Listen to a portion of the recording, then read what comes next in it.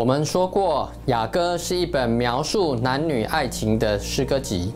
我们今天所读到的经文，就是这一首情歌的终曲。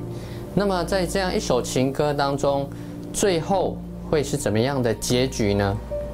在十一节跟十二节，新郎先说：所罗门王虽然有自己的葡萄园，但是却不是自己在耕种，而是租给别人耕种，收取租金。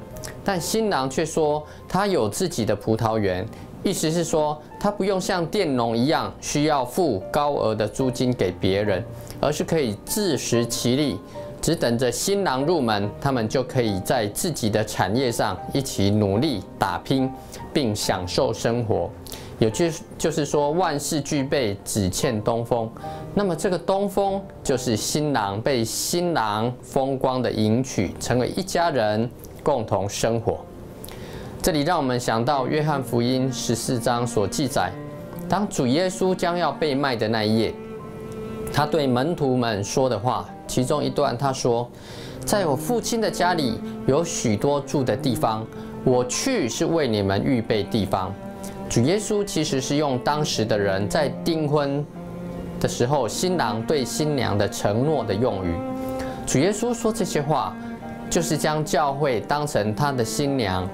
他先回到上帝那里去准备，为了要在天父所定好的日子回到世界来接我们进入上帝国。与他永远在一起，因此我们知道，在这个世界上的一切都是暂时的过程。